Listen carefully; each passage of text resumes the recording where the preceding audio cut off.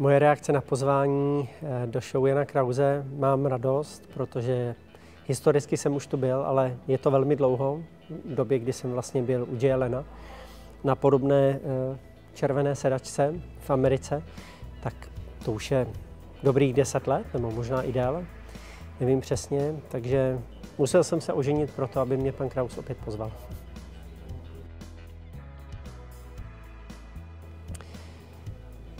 Na co se mě pan Kraus bude ptát? No těžko říct. Očekával bych, že jedno z ústředních témat bude to, že jsem se oženil. Předpokládám, ale u něj člověk nikdy neví, takže nechám se překvapit snad mile.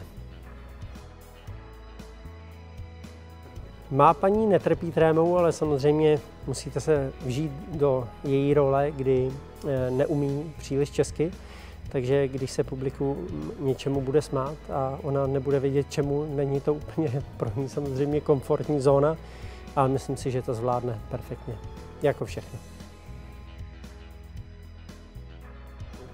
Já bych se pana Krause zeptal, kdy už konečně půjde na ryby. On je to takový dobrý sport pro, pro důchod, takže asi bych mu dělal radost.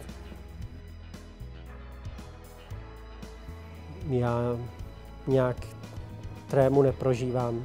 Já se snažím žít tak, jak eh, si myslím, že je správný a vlastně jakákoliv otázka padne, tak se na ní snažím odpovídat tak nějak popravdě, jak mi to přijde na mysl a, a těším se na to, bude to hezký večer a je to zábavný pořad, snad se lidi budou smát.